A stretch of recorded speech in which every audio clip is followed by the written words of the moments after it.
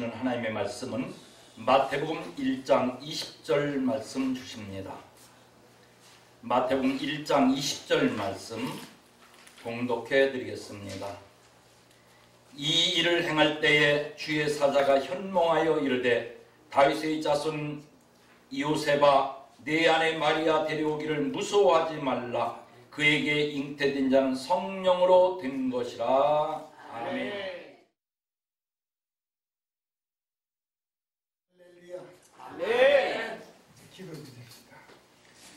생명 되신 주님, 어리석은 인간들 보러 온 것이 아니라 이 모습으로 되지 않는 걸 깨달았길래 위대하시고 고귀하신 주님 의지하고 나왔사오니 한 신명도 이 모습으로 가지 아니하게 우리 주께서 일일이 주관하여 주시옵소서. 나머지 시간도 주님 동행하여 주시고 행여나 사탄 기어들고 막고 방해하지 못하게 우리 주께서 하검으로 불성각으로 불말로 지켜 보호하여 주시옵소서. 아멘. 예수님 이름으로 기도드리옵나이다. 아멘. 아멘. 할렐루야. 네. 오늘 순서에 보면 쓰임받는 마리아 그림 마리아 우리 요한복음 8장 58절 우리 같이 한번 읽어보세요. 요한복음 8장 58절. 우리 같이 읽어보실까요? 58절 시작. 예. 예, 읽으세요. 예수께서 가라사대 진실로 진실로 너희에게 이르노니 아브라함이 나기 전부터 너희가 있느니라 하시니 아멘.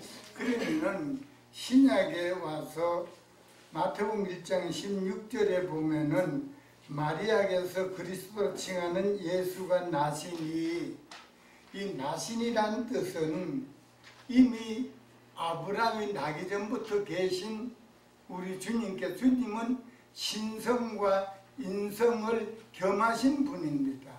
그러니까 아브라함이 나기 전부터 계신 분은 신성으로 계셔서 2000년 전 마리아를 통해서 나신 분은 인성 그 이미 계셔가지고 마리아에게 나시고란 뜻은 마리아를 쓰시고 마리아를 사용하시고 마리아를 통해서 이루시다는 뜻이 되는 거예요.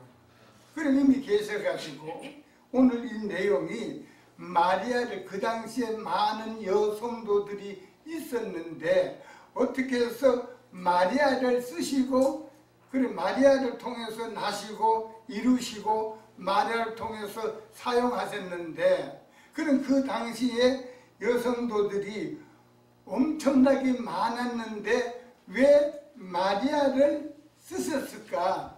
이사야 7장 14절에 보면은 처녀에게 나시고 그랬어요. 신약에 와서 마리아를 쓰신다는 사용하신다는 이루신다는 뜻이 내용이 기록되지 않고 단 하나 처녀를 쓰시겠다 그랬어요. 마- 처녀에게 나시고 그랬는데 마리아가 왜 쓰임 받았을까? 마리아가 또 그 많은 사람들에게 우연히가 아니라 사사기 14장 4절에 보면 모든 것이 여호와께로 나왔다 그랬는데 요셉이 왜 쓰임 받았을까? 신약에 와서 요한복음 11장 11절에 보면은 3절과 5절은 우리 예수님께서 나사로를 사랑하신다 두 분이나 거듭 말씀하셨는데 11절에는 나사로를 일으키려 우리 친구라 그랬어요. 친구란 뜻은 벗이 아니 창조주고 피조물인데 벗이 될 수가 없어요. 치- 따라 친구란 뜻은 친구란 좋아한다는 뜻이에요. 좋아한다는 좋아한 때는 여러분도 남자끼리 친한 남자들은 아내에게 비밀을 하는 것은 친한 친구에게는 비밀이 없어요. 아마 여자분도 그럴 거예요. 남편 남편은 어쩌면은 본의 아니게 비밀 하더라도 친한 친구에게는 비밀이 없어요. 그래서 우리 예수님께서 나사로를 사랑을 두 번이나 거듭 복수로 말씀하시다가 11절에는 우리 친구라 했는 것은 친구란 뜻은 좋아한다는 뜻이에요. 그래서 그 많은 신명들 중에 사랑하시고 좋아했을까? 그 나사로란 뜻은 원어에 보면은 현재 환경 생활 속에서 하나님의 도움이 없으면 살아갈 수 없다는 뜻을 지니고 살아가는 게 나사로예요. 어제나 오늘이나 동일하신 하나님, 우리가 마태복음 7장 21절에 보면 뜻이 주님의 뜻이면 방법도 주님의 방법을 써야 되는데 나도 모르게 여러분도 모르게 뜻은 전부 다 주님의 뜻이고 방법은 내 방법을 따라 살아가는 거예요. 그래서 현실이 어려운 거예요. 제가 노랑 시티에도 나가고 구팀에도 설교 나갑니다. 부족한데 제가 중이 되려 그랬던데 죽었던 몸을 주님께 살려주셨어요. 그래서 어느 곳에든지 주님 원하시면 가겠나이다. 그래서 제가 필리핀에 서른 분, 러시아, 중국, 홍콩, 불란서, 스웨덴 이 나라를 조금 지 나름대로 왜 죽었던 몸이니까 어디든지 가겠다는 뜻이에요. 주님 불러주시면 몸 덤으로 사는데 어디든지 가겠습니다. 그러면서 부족한데 이 강마리 목사님이 전화가 왔었어요. 미리 본문을 어디 걸 할 거냐 물어보시는 게 아니고 본문을 이렇게 물어보시게 저도 모르게 마태복음 1장 20절에 전달해 드려요. 그래서 아 이게 설교가 이 맞을 건가 은근히 근, 근심 걱정이 되더라고요. 그러면은 제가 좀 두서없이 전하더라도 깨닫고 은혜 받는 여러분이 됐어요. 네. 10편 49편 20절에 깨닫지 못하면 멸망하는 짐승 같다 그랬어요. 크리찬이 왜 어려우냐? 제가 기도드릴 때마다 막 출애기 2장 12절에 보면은 부모를 그대로 섬기라 그리하면 그, 그리함이란 뜻은 수직으로 기둥처럼 환경 현실 때문에 우로나 좌로나 기우지 않고 그리하면 수직으로 바로 나를 섬기면 행복하다는 뜻이에요. 왜 크리스찬들이 어려운지 아느냐? 이불은 주여 주여 하면서 방법은 자기들 방법을 쓰신대요. 누구가? 저가 그래요. 오늘 또 전달하는 말씀이 저를 보고 하시는 말씀이에요. 예. 어느 목사님이 전화가 왔어요. 목사님, 우리 천도교 모임을 가지자 그러시더라고요. 그래, 어느 분이 전화인지 몰라. 첫마디에 정말로 천도교에 중국에서 영국에서 미국으로 가는 그 신앙을 가지기를 모임을 원하십니까? 예, 이때가 그때가 돼야 되는데 그러면 아파트 팔아서 성교하시고 자가용 팔아서 성교하시고 맨발로 걸어다니고 배가 고파야 청교도 오와케티 신앙이 자라나지.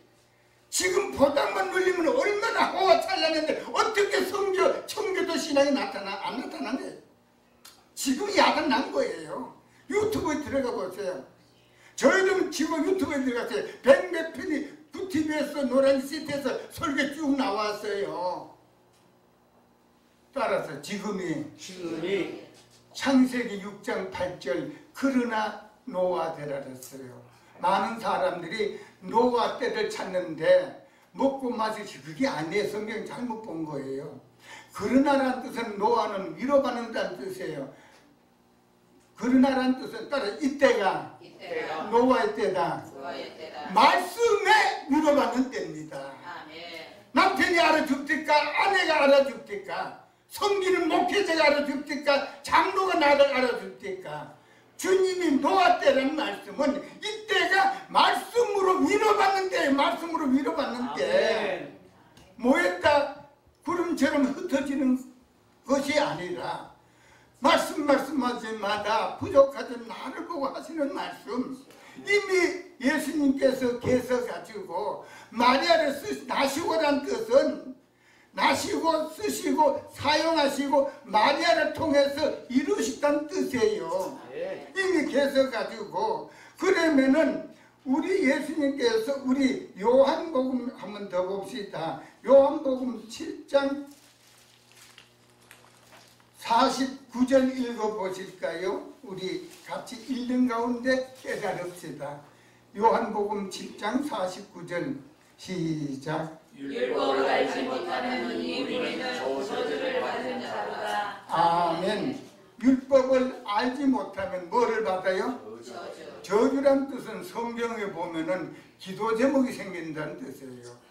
그래 많은 신령들이 율법 율법 하는데 과연 율법이 어떤 뜻을 지니고 있는지 그 상세하게 신명기 5장 3절 같이 한번 읽어보세요. 율법이 무슨 뜻을 지니고 있는지 신명기 5장 3절 읽어보세요.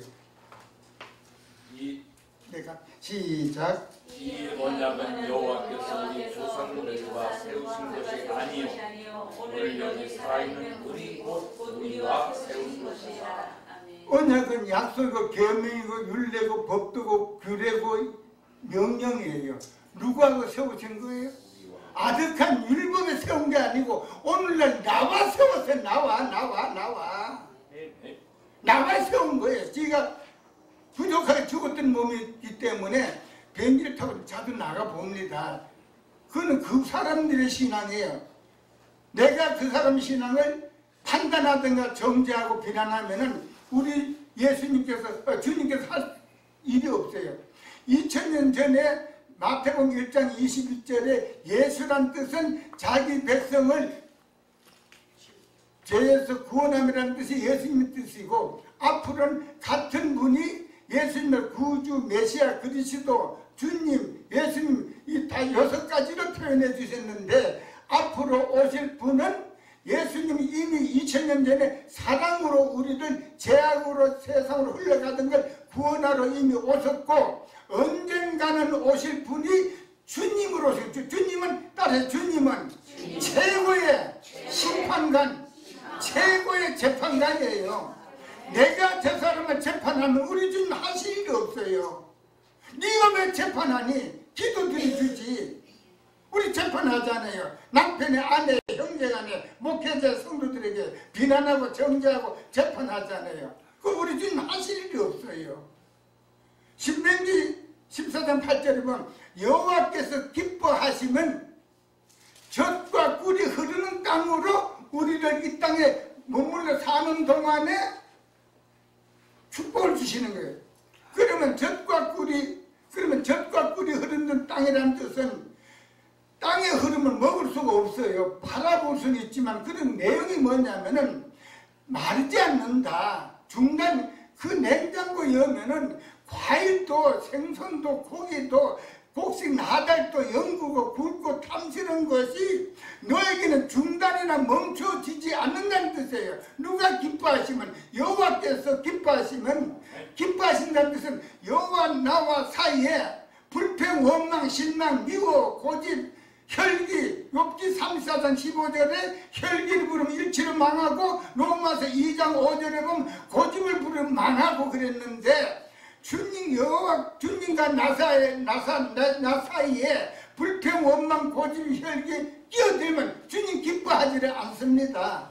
우리 주님께서 기도는 감난산에서 기도 드렸었고 감난산이라는 뜻은 원어에 보면 세상의 최고의 열매예요. 따라서 기도의 세상의 최고의 기도는 겟세마라는 뜻은 감난산에 기도 드리시다가 겟세만에 기도 드세요. 겟세만. 그러면 감난산과 겟세만에 다른 타 지역에 있는 것이 아니라 감난산 끝자락에 겟세만에 그랬어요. 따라서 겟세만은 기름틀이에요. 참깨나 들때 본체가 으스럽게 들어져야 주옥 같은 나오는 거예요. 해맑은. 그러면 세상의 최고의 기도가 뭐냐면 내가 죽는 거예요. 내가 죽는 거. 여러분 죽는 여러분이 됐어요.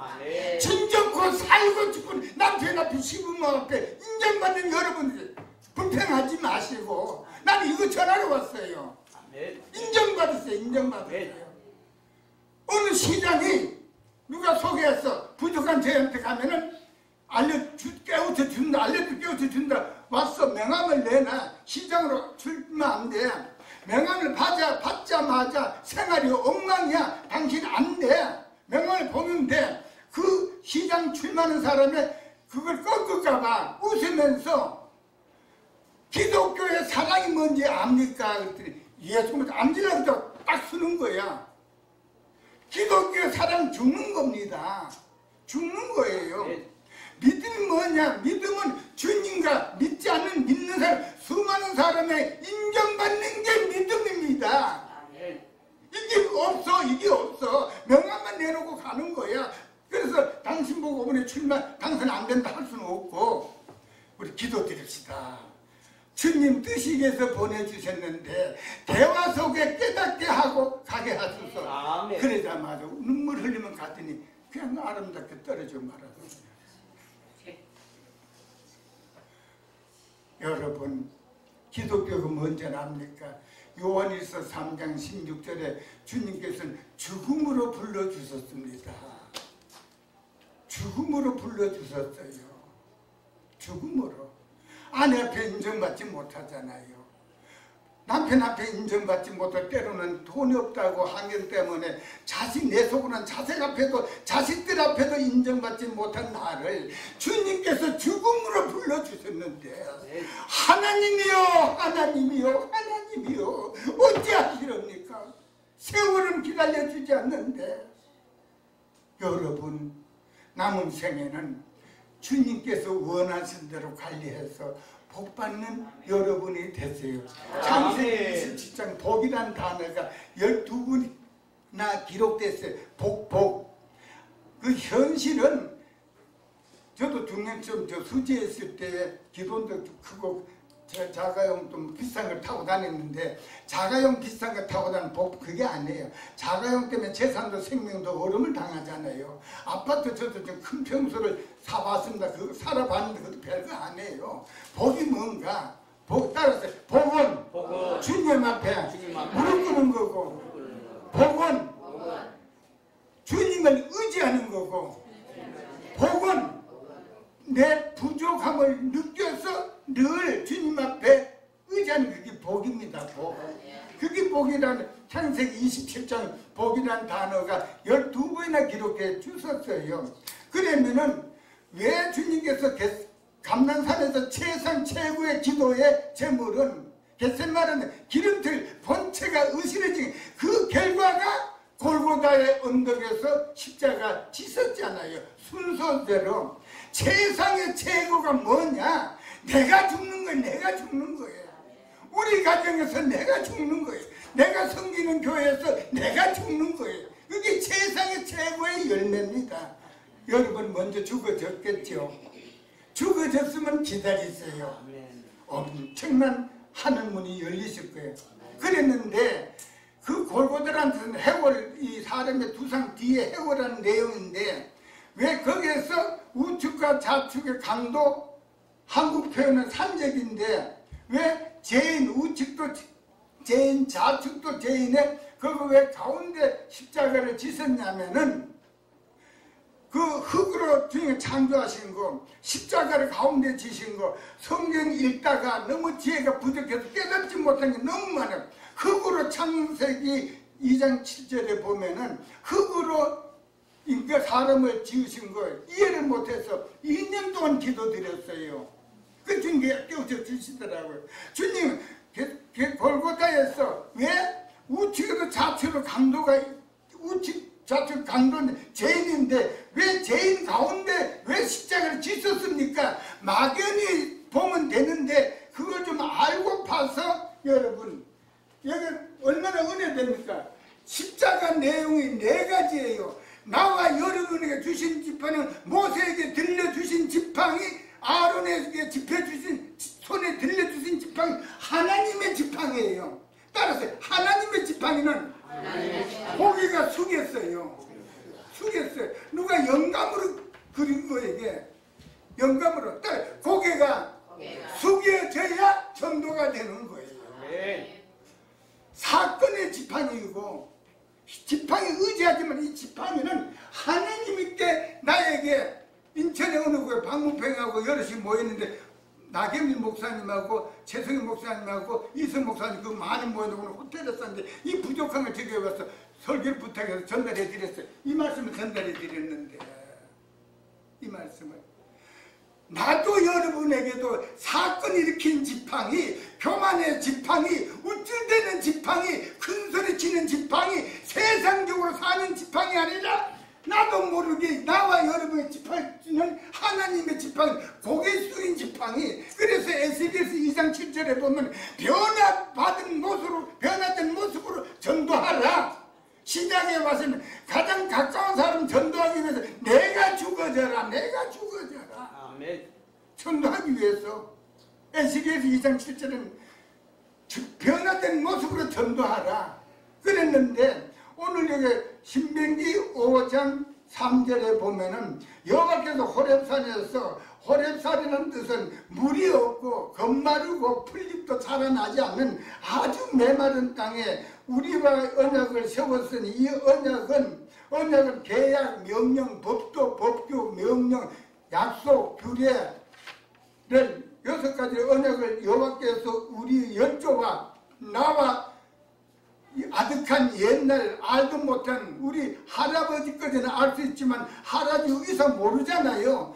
그분들하고 아득한 옛날에 수천 년 수억 년 전에 율법을 약속한 게 아니라 여기 보면 열소가 세우는 것이 아니요 오늘날 현재 일출에서 일몰 여기 살아가는 여기 살아있는 곧 우리와 나와 약속을 세운 거예요 근데 율법 율법 율법에 따라서 범죄하는 그 신앙은 율법을 갖다 않은 거야 주여 내가 부족해서 뛰어넘지 못했으면 10편 18편 29절에 뛰어넘어야 우리가 살아납니다. 뛰어넘어야 돼요.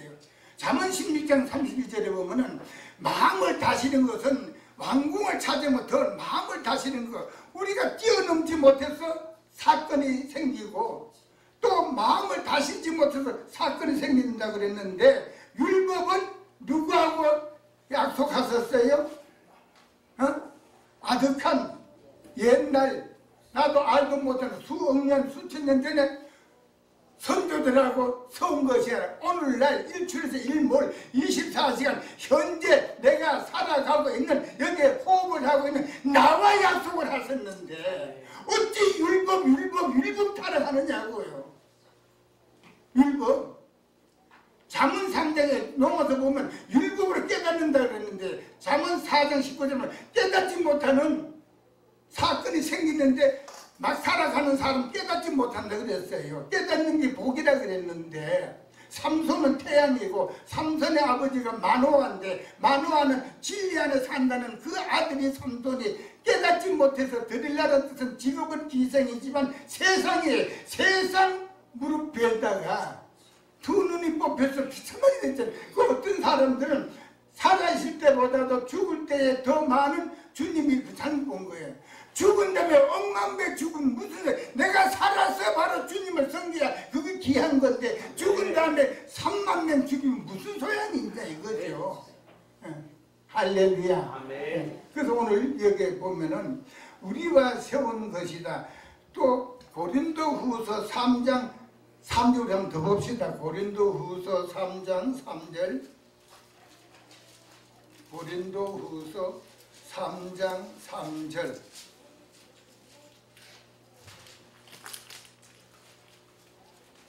읽어보 3장 3절. 고린도 너희는 우리로 말미암아 나타난 그리스도의 뜻이니 이는 몸으로 쓴 것이 아니요. 오직 살아계신 하나님의 영으로 한 것이며 또 돈에 쓴 것이 아니요. 오직 내 안에 쓴 것이라 아멘. 먹으로 쓴 것도 아니고? 여기 보면 돌비에 쓴 것도 아니고 여기 출애굽기 24장 12절에 보면은 여호와께서 모세에게 돌판에 쓰시고 새기고 기록해서 모세 그러니까 말씀 66권 전체에 베드로후서 1장 21절과 디모데후서 3장 16절 영감으로 기록해 주셨는데 십계명만은 여호와께 쓰시고 새기고 기록하셔서 모세에게 주셨어요. 그러니까 여기 신약에 보니까 먹으로 쓴 게 아니고 돌판에 쓴 게 아니고 어디에 썼어요? 신비 나의 마음에 쓰신 이 마음에 어느 곳에 호텔에 가도 어느 곳 마음에 십자가 십계명이 있는데 그 행동 그 언어 못하잖아요. 십계명을 어디 쓰셔서 하나께서? 나의 마음속에 쓰신 거예요 마음속에. 우리 남은 생애에 누가 뭐라거든 말든 주님 한 분만으로 만족한 나사로처럼 주님 오늘도 이한 주간도 하나님의 도움이 없으면 살아갈 수 없습니다. 날 좀 도와주세요. 날 좀 도와주세요. 그런 진실한 여러분 되시기를 주님의 이름으로 축원합니다. 아멘.